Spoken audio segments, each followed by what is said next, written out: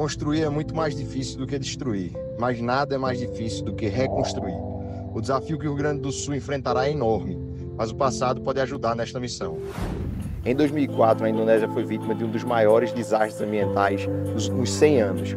O tsunami que atingiu o norte da ilha de Sumatra deixou mais de 200 mil vítimas. Foram comunidades inteiras devastadas, mais de 2 milhões de desabrigados, toda a infraestrutura destruída.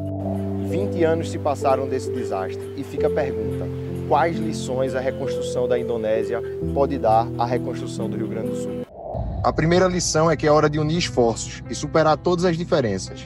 Achem, a província impactada pelo tsunami, lutava por sua independência desde 1976. E esta guerra, que durou quase 30 anos e deixou mais de 15 mil mortos, acabou no dia seguinte ao desastre. O movimento separatista declarou cessar fogo e o governo da Indonésia retirou todas as sanções impostas para juntos reconstruírem Achem. A segunda lição é que a solidariedade é fundamental e deve ser organizada.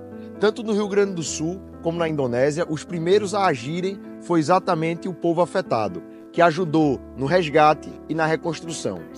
A terceira lição é que o governo deve liderar os esforços de reconstrução. Se na captação do recurso coube ao governo colocar um terço do total, na destinação, ele foi responsável por 100% da gestão financeira.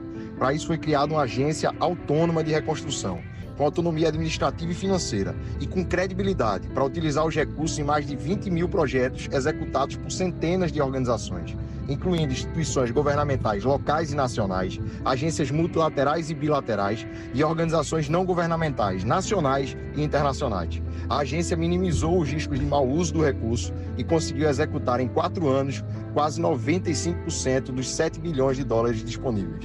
A Indonésia também nos ensina que é preciso se preparar para o futuro investir em prevenção, em sistemas de detecção dos riscos e sistemas de alerta, além de construir planos de contingência para evitar fatalidades, reduzir os danos e acelerar a resposta do poder público.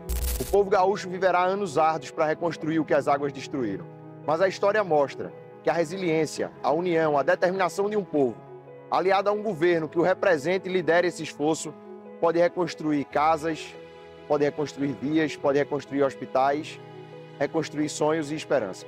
you